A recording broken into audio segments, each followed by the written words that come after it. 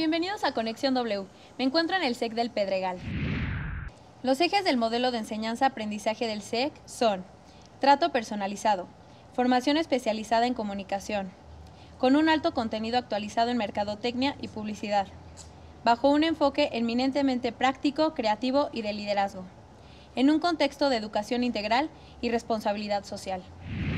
Estamos en esta universidad donde se tocan temas obviamente relativos a la comunicación. Este es el segundo programa de la tele. Ya lo habíamos grabado de esta segunda temporada, pero estuvo tan bueno que decidimos crear un segundo para tocar pequeños temas relativos a la tele que quedaron todavía por ahí. Entonces, antes que nada, vamos a ver esto y ahorita regresamos. En Conexión W ya hemos hablado sobre la televisión, sus contenidos y lo que nos deja como sociedad. Ya hablamos del poder de influencia que tiene como medio de comunicación, de la industria de las telenovelas, de los talk shows y de la importancia que tiene la decisión que toman los televidentes frente a la oferta de contenidos. Nos queda claro que la televisión tiene un enorme poder de influencia sobre la gente, genera estereotipos y delinea esquemas de comportamiento y consumos en las personas. Sin embargo, existen elementos que se van sumando a los que ya hemos analizado sobre el comportamiento de las pantallas. Uno de los factores que debemos considerar es que por necesidades sociales, los niños pasan cada vez más tiempo frente a la pantalla sin la supervisión de un adulto sobre lo que están viendo, tanto en el programa como en sus anuncios. ¿De quién es la responsabilidad? ¿De las televisoras? ¿De los padres de familia? En Conexión W vamos más allá. Por eso queremos reflexionar sobre lo que se puede hacer, una vez que entendemos el estado actual de los contenidos y el grado de influencia que la televisión tiene sobre nosotros. ¿Y tú, con qué te quedas? Antes de entrar al tema, les voy a presentar a nuestros invitados del día de hoy. Yo soy Federico Reyes, soy estudiante de comunicación en el SEC. Okay. Hola, yo soy Carla Cuevas, igual estudiante de comunicación aquí en el SEC. Bueno, nuestro invitado especial es el maestro Adolfo Sarabia. Adolfo, compártenos un poco qué es lo que haces. Bueno, eh, comentaría que es compartir, comparto la posibilidad de abrir puertas y de algunos saberes que yo tengo para que los alumnos exploren, tanto en el SEC como en la Ibero. Hay víctimas aquí. Y por otro lado, eh, comparto con instituciones, personas, lo que hacemos en Psicoexiste, que es mi despacho, que es investigación cualitativa sobre impacto de medios, impacto de imagen, impacto de marcas, impacto de discursos. Básicamente eso es lo que nosotros hacemos, un, un análisis de los efectos de los medios. Ok, efectos de los medios, impacto, bien, eso es lo que queremos platicar en este programa, de hecho. Y por último, yo soy Leti Casarín, estudio comunicación en Libero. Yo soy Ever Daniel Ferreira, eh, soy de formación médico y estudio ciencias biológicas en la UNAM en materia de neurociencias. Ok, bien, pues bienvenidos a todos. Y ahora sí, para arrancar, Fede, yo digo que lo que se ve hoy en la tele es un reflejo de la sociedad. Yo no estoy de acuerdo con eso. Yo pienso que la tele sí puede llegar a ser un espejo, más bien, una, un amplificador de lo que sucede en la, en, en la sociedad, pero realmente en la actualidad puede estar sucediendo algo que se gestó en la sociedad y a través de eso los medios masivos van a construir contenidos y, y se van a dictar eh, ciertas pautas a seguir, pero no, yo, yo, no, yo no creo realmente que los medios estén dando el, el origen a, la, a, a, los...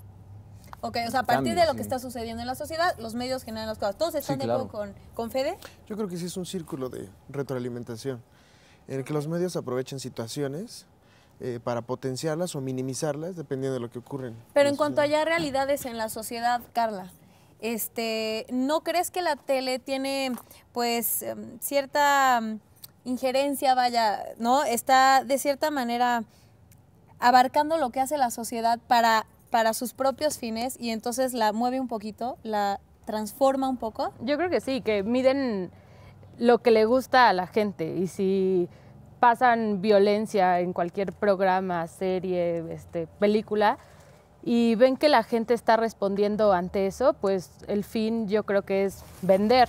Pero entonces lo Y que lo le gusta a la gente es la violencia. Pues a lo mejor no tanto, o sea, lo ven Ajá. y lo aceptan, más no, no siguen como que es lo- la violencia como en sí, ¿me entiendes? O sea, Digo, como- porque la gente ve lo que les ponen, ¿no? O sea, tenemos, y de hecho en el programa pasado, para los que no lo habían visto, quedamos en que tenemos la tele que nos merecemos. ¿Por qué? Porque la estamos consumiendo, ¿no? Porque todos prendemos la tele y díganme cuántos de aquí le cambian de canal cuando están viendo algo que no les gusta. Tú sí. Yo sí. Ever, ¿cuántos lo hacen? Bueno, tan, tan sencillo como que veo la tele muy poco. Ajá, Los contenidos no se me, no se me antojan siquiera, entonces no es algo que, de lo que sea partícipe. Pero sí estoy de acuerdo con, con lo que dices. Eh, La, la sociedad tiene eh, aquello que demanda. Entonces, tiene la, la- la televisión que merece, pero no la que necesita. Entonces, eh, es algo muy distinto. Bueno, también el consumidor eh, se basa más en su yo deseo que en su yo necesito. Ok. Entonces, eh, buena parte de los contenidos, como, como lo comentaban, si, a, si a la persona no necesita y no le gusta, no es partícipe, lo que sea, de la violencia, pues sencillamente le va a cambiar. Pero bueno, aquí, ten- aquí quizás se abre el punto muy grande, pero el bullying Es algo que se ve pues, en la televisión en todo momento. Sí. Y si ya no es violento, ya no es divertido. Entonces, pues eso es muy grave porque la diversión pues es algo que a todos nos gusta, ¿no? Entonces se nos está eh, bombardeando de ideas de que si ya no es eh, vi- violento, ya no es divertido. Entonces habría que eh, quizás concientizar primero a la sociedad para que puedan responder de una forma a los medios y, y de, y de- de esta forma, como lo mencionaba hace un momento, eh, la retroalimentación que dan los medios, lo que los medios ven de la sociedad, eh, sea algo eh, con lo que también respondan. Ok, estás hablando de que la tele y lo que necesita, ¿no? La gente. Ahora, ¿qué tipo de tele necesitaría la sociedad mexicana? Vamos a hablar ahorita de México, ¿no? ¿Qué tipo de tele necesitaríamos? Pues yo creo que necesitamos más que nada mejores contenidos, creo que es como lo más importante. Pero ¿qué es un mejor contenido? O sea, ¿qué implica un buen contenido o un mal pues, contenido? o sea, más como lo que estabas preguntando, Ajá.